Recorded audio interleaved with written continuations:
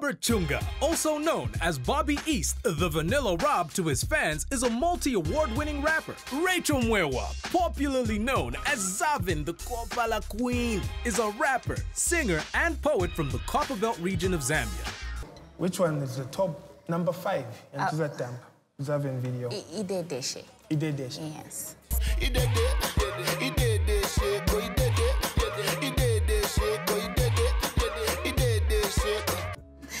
Right. Tell me about your top five, your fifth song on your My top fifth, five. my fifth song. Yeah. Um, Gate Cash Music. It's Bobby East, based on a true story.